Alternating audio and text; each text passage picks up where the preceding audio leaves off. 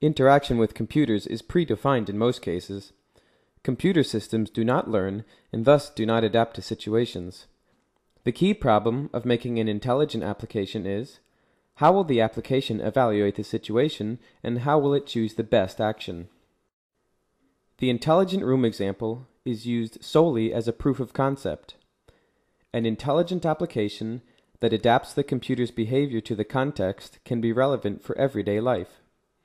As a result, this application could run on modern cell phones or PDAs, which have sensors such as accelerometers and GPS. These devices could adapt their behavior according to the context of its environment. Despite numerous projects dealing with intelligent rooms, interaction in the living room has not significantly changed since the invention of the remote control. Our project could take the concept of the intelligent room to the next level. The Wizard of Oz is a research experiment in which subjects interact with a system that is fully controllable by humans, in effect faking an autonomous system. We investigate how users interact with a possible intelligent system. The subjects fulfill simple tasks to discover the capabilities of the fake autonomous system, and the results are observed and analyzed.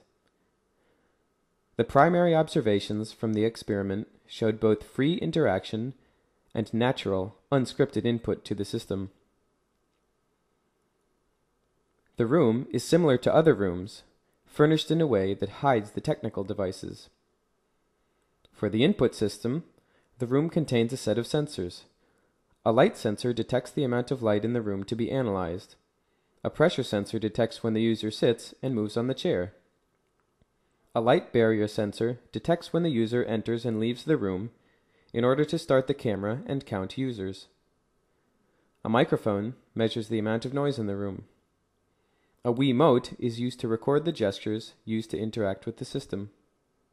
A camera mounted on the ceiling tracks the user's position in the room. For output, our room is capable of adjusting the sound level of the speakers, turning the lighting on and off, and controlling the projector. The system features a web control center to give explicit and manual commands to the system. It also performs undo operations when requested.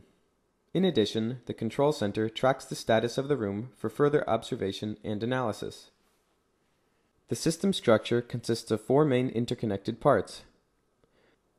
The world is a representation of our surroundings, providing natural interaction to the user. The first part involves action and detection, which detect the various actions of the user without intervening with the system's activity. When the system detects an action from the user, the action is sent to the world model. The second part is the world model, which inputs the actual states of the instance as well as the detected actions, and provides an output of all possible actions to be taken. The third part is the critic, which assigns a value to every action provided by the world model, based on a specific algorithm in order to choose the best action.